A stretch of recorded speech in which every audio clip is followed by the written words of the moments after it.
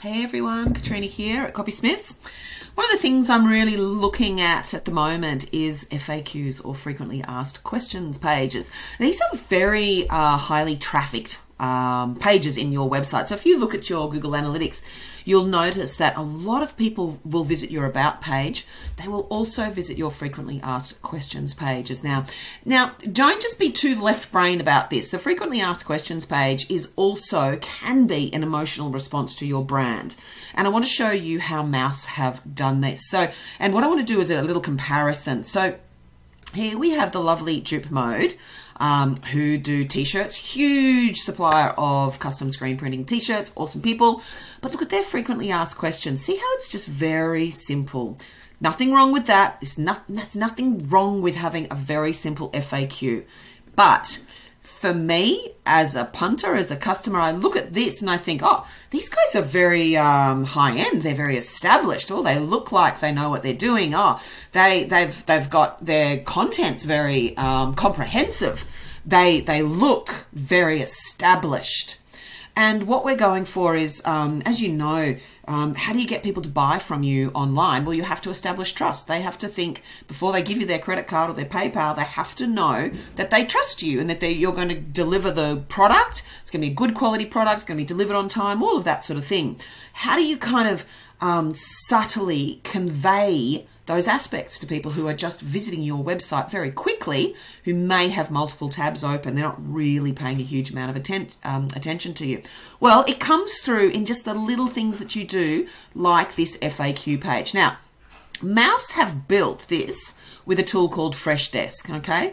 So I haven't used Freshdesk, I don't know much about them.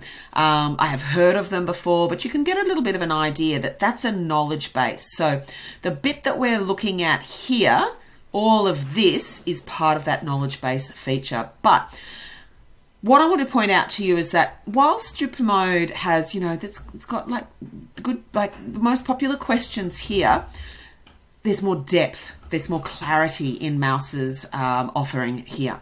So you can see they've got, uh, you can go right, you can duck right into um, understanding about that particular trademarked product that they've got. There's new releases of product, there's ordering returns, products and warranty, etc. And so I bet under each one of these, there's going to be a fairly comprehensive list of questions. And then if we click in, we'll see what the response is. There's also feedback, whether you found it helpful or not, related articles, when it was last modified. So this is for a punter, for me as um, a, a buyer of this product, I feel reassured that there's someone there, there's someone home. Great branding, all of that sort of thing. The other thing that they've done, which is really interesting, is they've got these tutorials. And these are just YouTube videos. Uh, but you can you can imagine that these are quite useful for um, a customer who might be coming along to buy this product. So how to assemble your Mous MagSafe compatible charger stand, that would be a useful video. And they're all just stored unlisted on their YouTube video. Anyway, um, I'll give you a link to this page. I think this is a really fascinating FAQ just from that, that point of view of it really establishes more credibility and trust.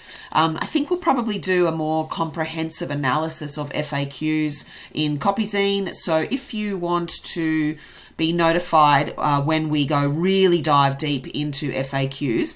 You can just um, add your email address into Copyzine, and once a month we're going to dive really deeply into these topics. Okay, bye.